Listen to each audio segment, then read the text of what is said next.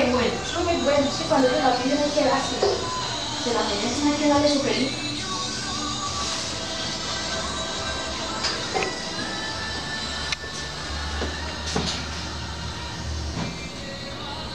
Ay, Cris.